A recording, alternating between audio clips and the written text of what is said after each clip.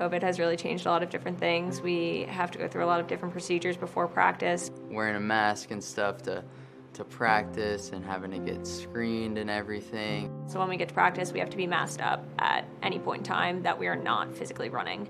So drills, masks on, stretching, masks on. With all the circumstances, the team dynamic is different. I feel like the morale is just a little bit different, but I feel like everyone's super excited.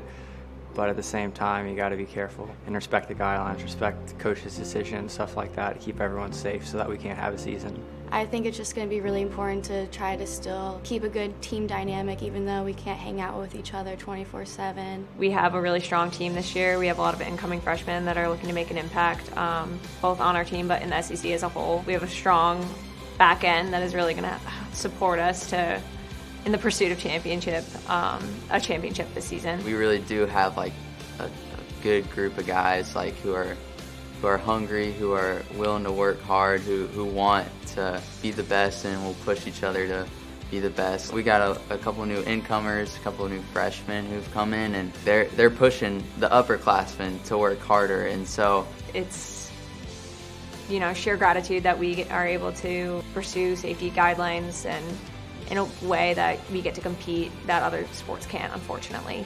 And it's great that we're outside and you know we can have people come and spectate in a way that's safe. I feel like everyone needs something to go on and as long as we're following all the safety precautions I think it's going to be really fun and I'm just very grateful to be here. I think there's only like four conferences or something having fall sports and we're one of them so um, very fortunate uh, that we're able to run. We've been on the sidelines for so long that we're just so grateful that we get to have a season and that we get to really show it off. Being back with the team is uh, quite enjoyable.